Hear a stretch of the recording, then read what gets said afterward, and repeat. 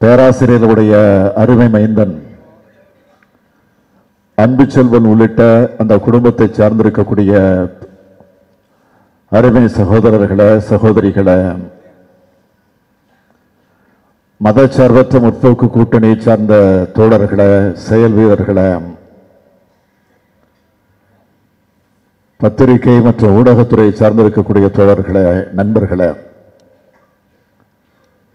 என் உயிரோடு கலந்திருக்கக்கூடிய தலைவர் கலைஞர் அவர்களின் உயிரோடு கலந்திருக்கக்கூடிய உயிரினும் மேலான அன்பு உடன்பிறப்புகளை உங்கள் அனைவருக்கும் ஒரு அன்பான வணக்கம். தலைவர் கலைஞர் அவருடைய கவிதை வரிகளை சொல்லி எனது உரையை தொடங்கலாம் என நினைக்கிறேன். காலத்தால் மூத்த மொழி பெற்ற பிள்ளை ஞானத்தை தொழில் கேட்க வைத்திட்ட கோலச்சொல் அறிஞருக்கு வாய்த்த தம்பி. ஆலமர கழகத்தின் ஆணிவேர் தொண்டர்க்கும் தோழன். ஓலமிகும் எதிர்ப்புதனை ஒடுக்குகின்ற உடன்பிறப்பு.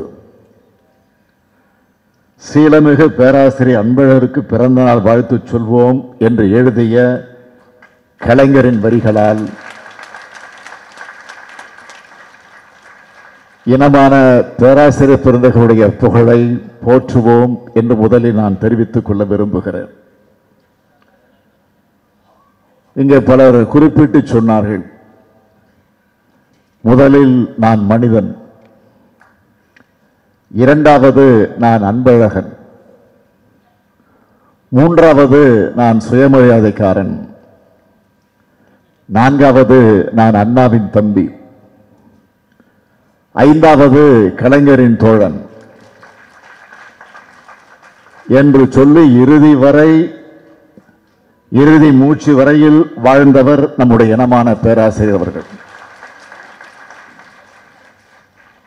ஆறாவது உரிமையோடு நான் கூற விரும்புவது அவர் எனது பெரியப்பா.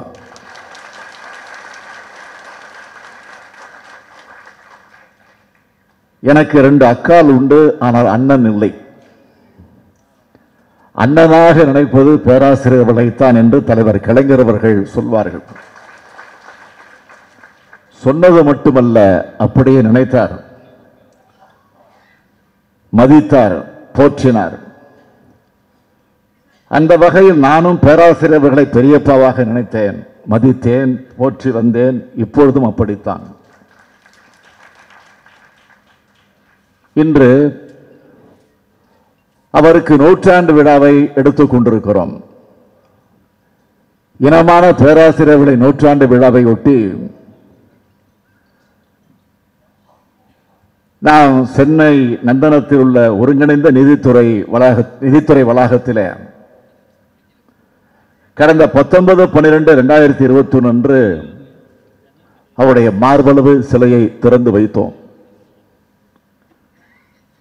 கருவூல கணக்கு தொடர்பான அலுவலகம் உள்ளிட்ட பதிமூன்று அரசு அலுவலகங்கள் இயங்கி வரக்கூடிய அந்த வளாகத்திற்கு பேராசிரியர் அன்பழகன் மாளிகை என்று பெயர் சூட்டியிருக்கிறோம். இதமான பேராசிரியர்கள் படைத்திருக்கக்கூடிய நூல்களை நாட்டுடைமையாக்கி அந்த நூல் உரிமை தொகை முழுமையாக பேராசிரியருடைய குடும்பத்தாருக்கு வழங்கியிருக்கிறோம்.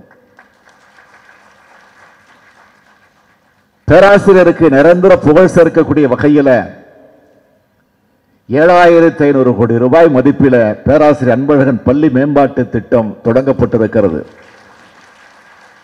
இந்த திராவிட மாடல் ஆட்சியில.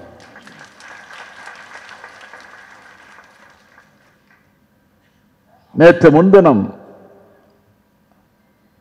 பதினாறாம் தேதி தமிழகம் முழுவதும் பேராசிரியருடைய நூற்றாண்டு விழாவை திராவிட முன்னேற்ற கழகத்தின் சார்பில் கழக அமைப்புகளின் சார்பில் இதுவரையில் வரலாற்றில் இல்லாத அளவிற்கு நூறு பொதுக்கூட்டங்களை நடத்தி முடித்திருக்கிறோம். நேற்று அண்ணா அறிவாலயம் கலைஞர் அரங்கில் நம்முடைய கவிப்பேரரசு வைரமுத்தவர்கள் தலைமையில் கவியரங்கம் மிக சிறப்பாக நடைபெற்று முடிந்திருக்கிறது.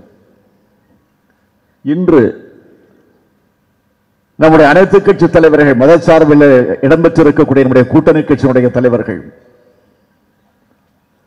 பங்கேற்கக்கூடிய இந்த கூட்டம் நடந்து கொண்டிருக்கிறது. நாளை காலை நுங்கம்பாக்கம் பள்ளிக்கல்வி இயக்ககத்தில் அவரது திருவுருவச் சிலை இன்னும் இரண்டு அல்லது மூன்று மாத காலத்திற்குள்ளாக திறக்கப்படவிருக்கிறது. அதற்கு முன்கூட்டியே நாளைய தினம் அந்த கட்டிடத்திற்கு பேராசிரியர் அன்பழகனுடைய பெயர் சூட்டப்பட்டு திறக்கப்படவிருக்கிறது. இப்படி இந்த ஆண்டு முழுவதும் அவருடைய நூற்றாண்டு விழாவை நிறைவு விழாவாக நாம் கொண்டாடி கொண்டிருக்கிறோம். இன்று இந்த விழா பெரியார் திடலில் நடப்பது மிக மிக மிக மிக பொருத்தமாக அமைந்திருக்கிறது. ஏற்கனவே குறிப்பிட்டு காட்டியிருக்கிறார்கள் பேராசிரியருடைய மணி விழா இதே பெரியார் திடலில் அவர் யாரை தலைவராக ஏற்றுக்கொண்டாரோ அந்த தலைவர் கலைஞரவர்களே முன்னின்று நடத்திய அந்த மணி விழா அந்த விழாவில் பேராசிரியர்கள் பேசுகிற போது குறிப்பிட்டு சொன்னார் கலைஞர் கோப்பெருஞ்சோட நின்றால் நான் பிசிராந்தராக இருப்பேன் என்று குறிப்பிட்டார். சொன்னபடியே இறுதி வரை இணைவறியாது வாழ்ந்தார். இதே பெரியார் திடலில் பேராசிரியருடைய வாழ்வும் தொண்டும் நூல் வெளியீட்டு விழா இரண்டாயிரத்தி பதினைந்தாம் ஆண்டு நடந்திருக்கிறது. அந்த விழாவிற்கு தலைவர் கலைஞர் வர வேண்டும். கொஞ்சம் உடல் நலிவுற்று வீட்டில் இருக்கிறார். அவர் பங்கெடுப்ப பங்கெடுப்பாரா பங்கெடுக்க மாட்டாரா என்ற ஒரு கேள்விக்குறி. பேராசிரியர் இல்லத்தினர் கூட கோபாலவர் வந்து தலைவரிடத்தில் கேட்டார்கள். நான் நல்லா தான் இருக்கேன். உடல் நலமில்லாமல் இருந்தாலும் நிச்சயம் வருவேன் என்று தலைவர் கலைஞர் அவர்கள் அவரிடத்தில் சொன்னார். நான் வரவில்லை என்பதற்காக பேராசிரியர் வருந்துகிறாரா இல்லையோ? நான் நலமாக இருந்தால் போதும் என்று கருதுகிற உயிர் நண்பர் பேராசிரியர். என்று உருக்கமாக குறிப்பிட்டு சொன்னார். என்னை பொறுத்தவரையில் அரசியல் வரலாற்றிலே ரெண்டு பேரும் ஆளுமைகள் இத்தகைய நட்பு புரிதலோடு இருந்திருக்கிறார் என்று சொன்னால் அது கலைஞரும் பேராசிரியருமாகத்தான் இருக்க முடியும். எதையும் பேராசிரியத்தை சொல்லிவிட்டு செய்ய வேண்டும் என்று நினைப்பார் நம்முடைய தலைவர் கலைஞர் அவர்கள். பேராசிரியர் கலைஞர் செஞ்சா சரியாத்தான் இருக்கும். அப்படி நினைப்பார் பேராசிரியர். இத்தகைய நண்பர்களை அரசியலில் பார்ப்பது என்பது மிக மிக மிக மிக அரிது. இந்த இயக்கத்தை தலைவர் கலைஞர் அவர்களுக்கு பிறகு தனக்கு பிறகு வழிநடத்த தகுதியானவன் ஸ்டாலின் தான் என்பதை முதலில் சொன்னவர் என்னுடைய பெரியப்பா பேராசிரியர் அவர்கள் தான். அதாவது கலைஞருக்கு முன்னாடியே சொன்னவர் என்னுடைய பெரியப்பா தான். நம்முடைய பேராசிரியர் தான். என்னுடைய அரசியல் வாழ்க்கை அவரிடத்துல தான் ஆரம்பிச்சது. பதிமூன்று வயசில் பள்ளி சிறுவனாக பள்ளி மாணவனாக இருந்தப்போ கோபாலபுரம் பகுதியில் இளைஞர் திமுக என்ற ஒரு அமைப்பை நான் தொடங்கி ஒரு இருபது இருபத்தைந்து சிறுவர்களோடு சேர்ந்து அந்த அமைப்பை நடத்தி அதற்கென்று ஒரு அலுவலகத்தை உருவாக்க வேண்டும் என்று கோபாலபுரத்தினுடைய தலைவருடைய இல் தெரு இருக்கு பாருங்கள் அந்த தெருவுடைய மூளை பகுதியில் அஞ்சாறு கடைகள் இருக்குது அதில் ஒரு கடை பார்பர் ஷாப். முடித்திருத்தக்கூடிய நிலையம். அந்த இடத்துல தான் என்னுடைய அலுவலகத்தை ஆரம்பித்தேன் அதை திறந்து வைக்க வேண்டும் என்று தலைவர் கலைஞரிடத்தில் பேராசிரியர் இடத்துல சொல்லி கொண்டிருந்தப்போ ரெண்டு பேரும் கிளம்புனாங்க. நடந்தே வந்தாங்க. கோபாலபுரம் அந்த தெருவில் நடந்தே வந்து திறந்து வைக்க கத்திரிக்கோல் எடுத்து தலைவரிடத்தில் கொடுக்குறேன். தலைவர் உடனே நான் திறக்க மாட்டேன். அவரிடத்துல கொடுத்து துறக்க சொல்லுன்னு பேராசிரியர் கொடுத்தார். ஆக அந்த முத முதல்ல அலுவலகத்தை திறந்து வச்சதே என்னுடைய பெரியப்பா பேராசிரியர் தான் அவர் கொடுத்த அந்த உற்சாகத்தின் அடிப்படையில் தான் ஊக்கத்தின் அடிப்படையில் தான் இன்று அண்ணா அறிவாலயத்தை கட்டி காக்கக்கூடிய ஒரு மிக பொறுப்பை இன்றைக்கு ஏற்கக்கூடிய வாய்ப்பு எனக்கு கிடைச்சிருக்கு நான் அதைத்தான் நினைச்சு பார்க்குறேன். என் கோட்டையை காக்கக்கூடிய அந்த பொறுப்பு இன்னைக்கு கிடைச்சிருக்குன்னா இந்த தமிழகத்தை காக்கக்கூடிய அந்த பொறுப்பு எனக்கு கிடைச்சிருக்குன்னா அந்த இளைஞர் அன்னைக்கு முதல் முதல்ல அன்பகம் எங்களுக்கு எப்படி கிடைச்சிது? அதுக்கும் காரணம் பேராசிரியர் தான். இளைஞரணியின் செயலாளராக நான் பொறுப்பேற்று பணியாற்றி கொண்டிருந்தப்போ தலைமை கழகமாக செயல்பட்டு கொண்டது அன்பகத்திலிருந்து காலி செஞ்சு அறிவாலயத்திற்கு வருவாங்க. தலைமை கழகம் வருது. அப்போ அன்பகத்தை எப்படி பயன்படுத்துவது என்று யோசித்துக் கொண்டிருந்தப்போ தொழிலாளர் கேட்குது மாணவர் அணி கேட்டுக்கிட்டு இருக்காங்க. இப்படி பல அணிகள் கேட்டுக்கிட்டு இருக்கிறப்போ இளைஞர் அணியின் சார்பு நானும் போய் கேட்டேன். கலைஞர் முடியவே முடியாது. பிள்ளைக்கு கொடுத்துட்டான்னு கெட்ட பேர் எனக்கு வந்து நான் கொடுக்க முடியாதுன்னாரு. அப்போ பேராசிரியர் ஒரு யோசனை சொன்னார். யார் இந்த கட்சிக்கு பத்து லட்ச ரூபா கொடுத்த நிதி எவன் கொடுக்குறானோ அவன் இடத்துல கொடுப்போனார் பட்டுன்னு சொன்னார். ஆறு மாதம் டைம் கொடுத்தாங்க. அஞ்சே மாதத்தில் பத்து லட்சம்ல பதினோரு லட்சத்தை திரட்டிக்கிட்டு கொண்டு போய் கொடுத்தான். ஆக போட்டி வச்சு அந்த போட்டியின் மூலமாக அந்த இளைஞரன் எனக்கு அந்த அமை அந்த அமைப்புக்கு அந்த கட்டிடத்தை பெற்று தந்தவரும் நம்முடைய பெரியப்பா பேராசிரியர்கள் தான்